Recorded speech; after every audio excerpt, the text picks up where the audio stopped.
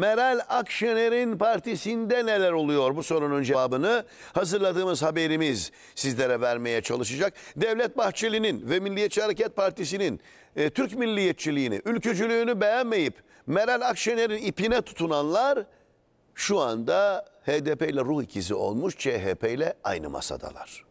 Acı ve ama gerçek bu.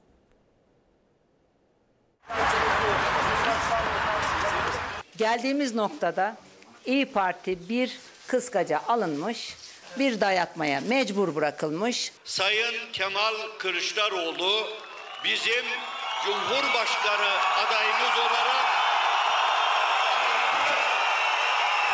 Kemal Kılıçdaroğlu adaylığı açıklayınca Meral Akşener'in altılı masadan kalkıp bir gün sonra geri dönmesiyle İyi Parti'de başlayan çöküş sürüyor. Ve elbette buna boyun eğmeyecektir. İyi Partili Aytun Çıray seçime sayılı günler kala partisinin oylarının çok düştüğünü ve toparlayamadıklarını itiraf etti.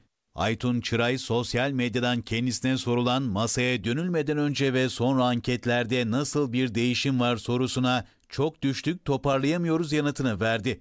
Çıray'ın bu sözleri İyi Parti içinde rahatsızlığa neden oldu. İyi Parti Türkiye Büyük Millet Meclisi Grup Başkan Vekili Milletvekili Musavat Dervişoğlu Çıray'a sert sözlerle yüklendi.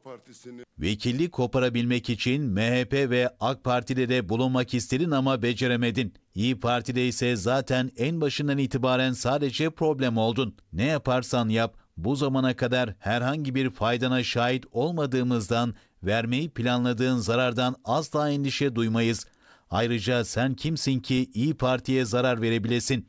Çıraysa yaptığı paylaşımda ne olacağı belli olmayan bir partiye milletvekili olarak pazarlıksız geldim. Ne vefasızmışsınız ki 5 yıldır verdiğim emekler yerine yanlışları savunuyorsunuz ifadelerini kullandı.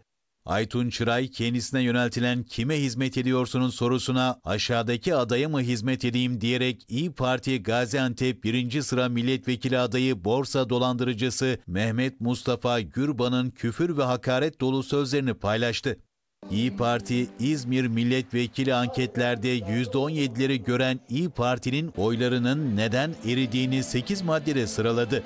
Afyon olayı merkez parti olup olmama konusunda zikzaklar, Ömer'in yolu, lideri kadın olan bir partide bacıya küfür, masa süreçlerinin yönetilememesi, asla masadan kalkmam deyip kalkmak, derin güven kaybı ve liste felaketi.